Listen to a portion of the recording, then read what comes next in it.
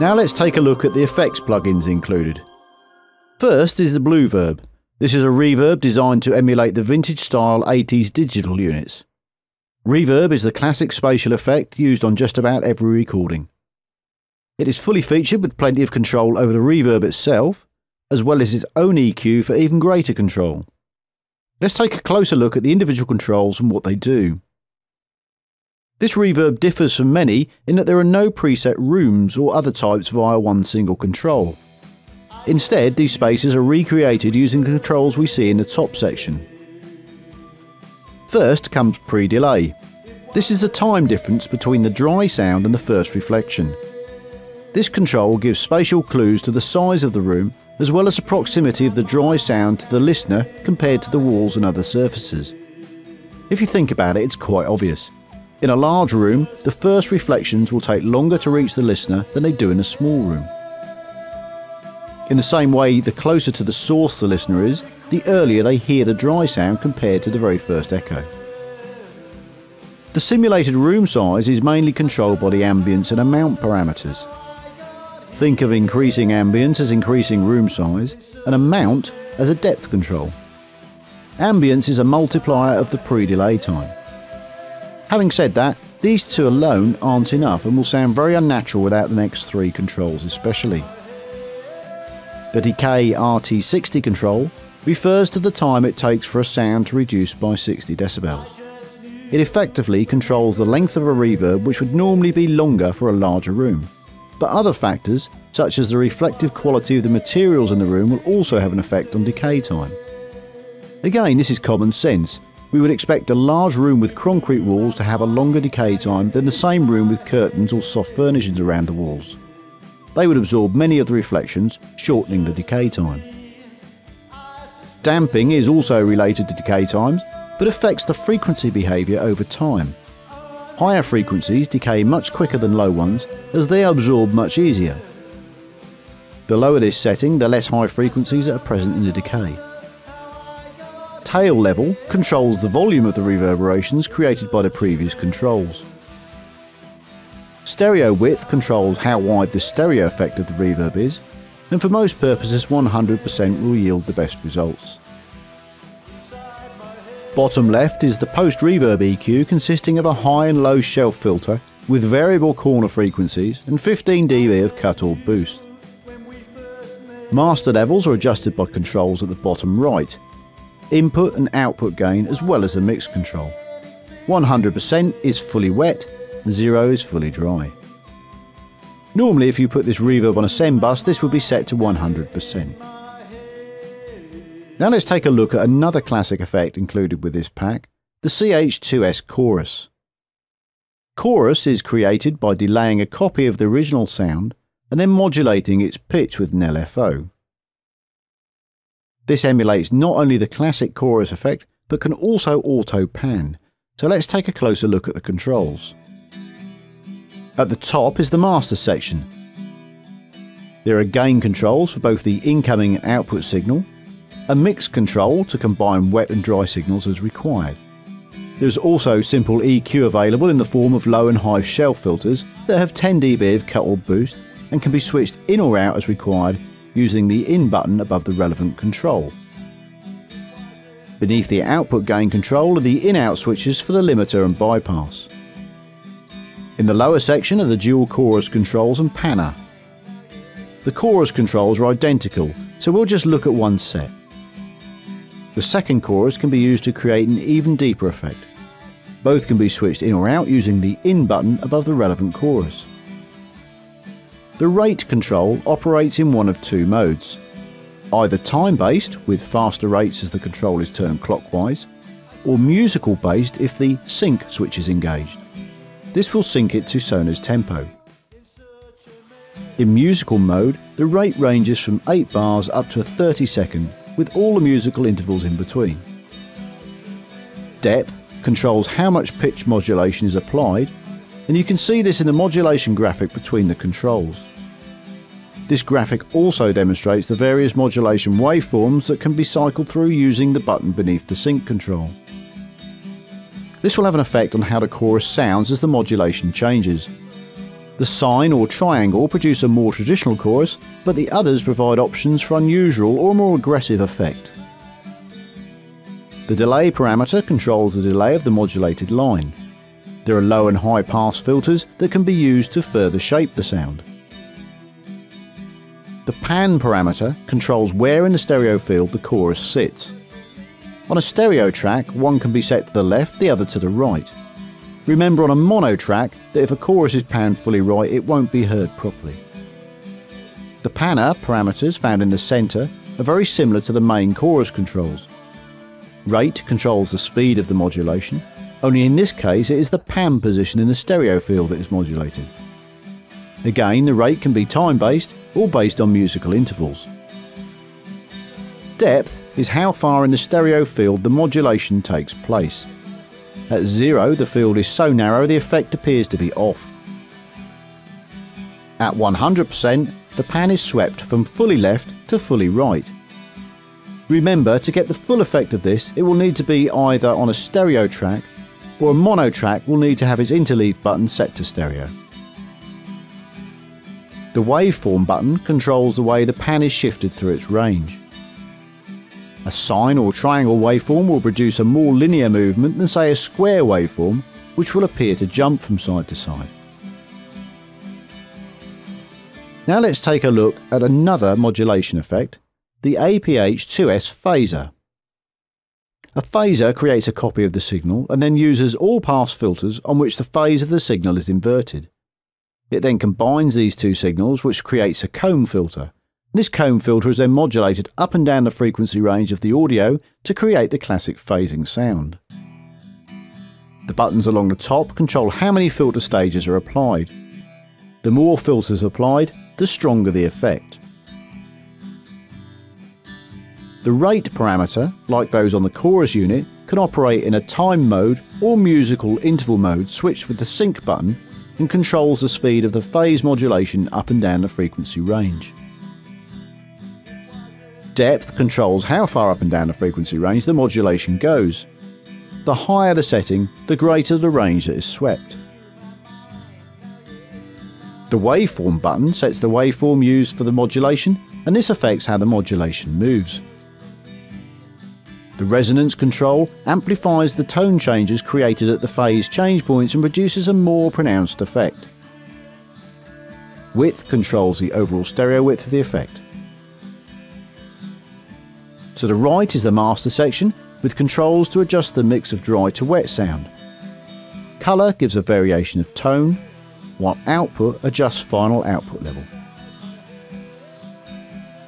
The tempo delay, DL3D, is a digital delay consisting of three delay processors that can be used simultaneously with different pan and level settings to create some very complex delay effects.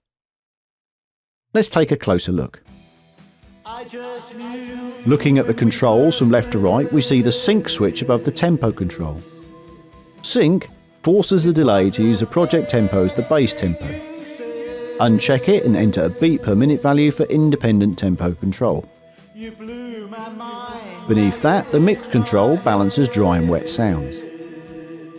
Now let's take a look at one of the delay units, and the other two have identical control. The unit itself is switched on or off with the in button. Beneath that are the musical interval tempo settings that use the master tempo as a base. There are also controls to adjust those intervals for triplet and dotted values.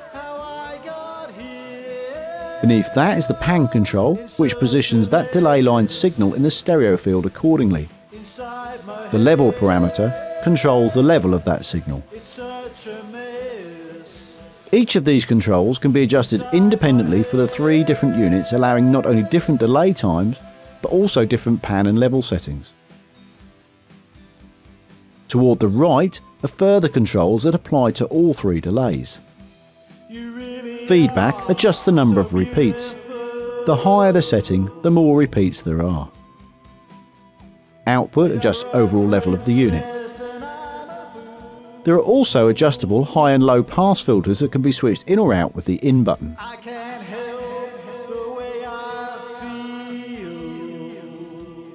The Oil Can Echo TLE2S also creates echo delays but simulates a more low-tech tape-based unit. The input control on the left can be used to help with gain staging. At the top are the delay type controls. There are four labelled 1964, 1977, 1989 and 1995, mimicking the tape delays of those eras. For example, the 64 setting is nowhere near as bright as the 95. The slap, delay and echo buttons control the base time between delays, with the echo delay control providing a fine tuning within each base setting. This mimics the way a tape delay would work though, so there is some audible detuning while making adjustments. The sustain control is similar to a feedback control, increasing this increases the number of repeats. To the right of the output meter is the flutter control, this adds a little vibrato to the repeats, as if caused by the imperfections of tape repeats. Dry wet mix is controlled by the mix parameter and final output level with the output control. Bypass does as it says and bypasses processing completely. The ADR2S valve driver plugin is designed to add tube type overdrive or saturation to tracks. The grungealizer modes provide different basic overdrive tones, and the valve driver controls the amount of overdrive for each mode. It can be switched in or out using the in control. The final sound can be further tailored using the high and low pass filters, which have both variable frequency and bandwidth controls. These two can be switched in or out with the in button. There's also a switchable noise gate, which has a threshold setting for controlling where the gate starts to work. Attack controls how quickly the gate opens, and release how quickly it closes. There are also the usual output and bypass controls. The Stereo Imager ST2S is a relatively straightforward plugin that can be used to adjust the width of the stereo image as well as input, output and bypass. The only other control is the width control. Moving it fully to the left reduces the output to mono, and moving it fully right widens the mix further than a DAW alone can. The graphic above provides visual representation of the output.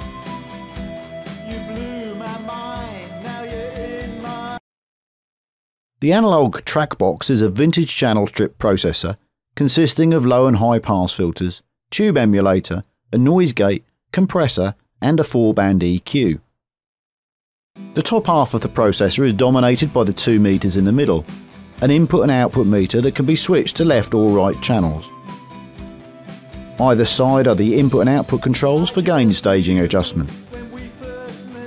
There's a phase switch for inverting signal phase if there are any phase issues on your audio, and at either end are a high pass and low pass filter with switchable corner frequencies. The top section also contains two further switches, one to switch the limiter in and out and the other to bypass processing completely. All of the various modules in the lower section are switchable. Let's look at them from left to right. First comes the tube saturator.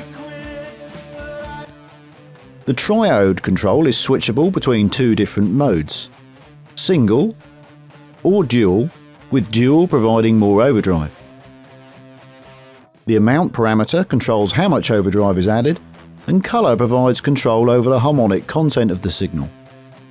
You can hear the difference by moving between the two extremes. The gate is used to remove unwanted low-level noise. Threshold sets the level beneath which the audio is muted by the gate remaining closed. The gate is opened at this setting. Attack sets how quickly the gate opens to allow audio through, and release how quickly it closes again once the level drops beneath the threshold. Next comes the compressor. Threshold here sets the level at which gain reduction kicks in. The amount of gain reduction is set by the ratio control, 3 to 1 for example reduces a signal from 3 decibels over the threshold to just 1 decibel over. Attack sets how long the compressor waits once the signal is over the threshold before it applies the amount of gain reduction set by the ratio control. Release controls how quickly gain reduction is released once the output level has fallen beneath the input level. Makeup adjusts the output level to make up any gain reduction applied. And the post switch controls whether the EQ comes before the compressor if it's off or after the compressor if it's turned on. Now let's look at the EQ module. This is a 4-band EQ consisting of low and high shelf filters and two peak or bell filters. All filters have up to 15 decibels of cut or boost. The low shelf has a variable corner frequency ranging from 40 to 600 Hz. The slope is set using the Q control at the top. The high shelf also has a similar slope control and the corner frequency for that ranges from 1.5 to 16 kHz. The two peak filters are labelled low and high mids. The centre frequency for lower mid ranges from 200 Hz to 2.5 kHz. Higher mid ranges from 600 Hz to 7.5 kHz. Bandwidth for both is fully adjustable using the Q control. And that's the analog track box, a fully featured channel strip processor.